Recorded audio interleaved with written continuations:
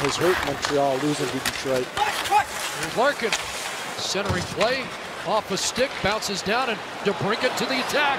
Strome trying to catch up to the pass. He put corral. Now he's got another chance. Strome in, scores!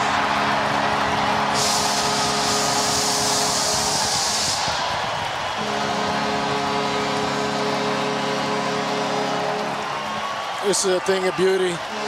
DeBrincat, Strome, Dach, they go to work with skill.